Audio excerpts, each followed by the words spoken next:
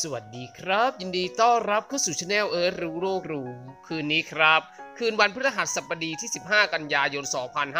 2565 จะมีการแข่งขันศึกฟุตบอลยูโรปาลีกฤดูกาล 2022 เป็นแมตช์การแข่งขันกันระหว่างมิดทิลแลนด์จะพบกับลาซิโอ ในเวลา 23.45 น ตามเวลาประเทศไทยสำหรับลิงก์รับชมการถ่ายทอดสด ทางช่องก็ได้นำลิงก์การถ่ายทอดสดไว้ใต้คลิปนี้เหมือนเดิมนะครับ สำหรับเพื่อนๆที่ยังเข้าลิงก์กันไม่เป็น ทางด้านท้ายคลิปนี้ก็จะมีคำแนะนำวิธีการเข้าลิงก์ให้ทำตามนะครับสำหรับเพื่อนๆที่จะเข้าลิงก์ดูและเข้าไม่เป็น ก็ทำตามขั้นตอนตามนี้เลยนะครับ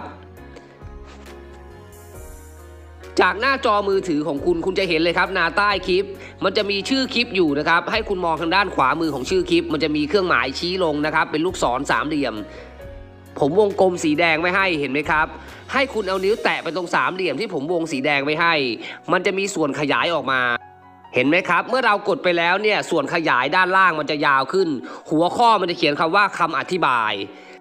ให้คุณมองลงมาด้านล่างครับ คุณจะเห็นตัวหนังสือสีน้ำเงิน เป็นชื่อลิงก์อยู่ อันนี้มันจะตัวเล็กเดี๋ยวผมจะขยายเข้าไปให้ดูนะครับ เห็นไหมครับ เมื่อผมขยายหน้าจอขึ้นมาให้ดูแล้ว คุณจะเห็นครับด้านล่าง ตัวหนังสือสีน้ำเงินนั่นคือลิงก์การถ่ายทอดสด ผมจะเอาวงสีแดงวงไว้ให้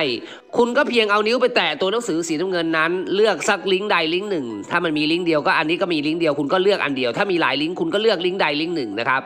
เสร็จเรียบร้อยแล้วมันจะพาคุณเข้าไปสู่การถ่ายทอดสดนะครับ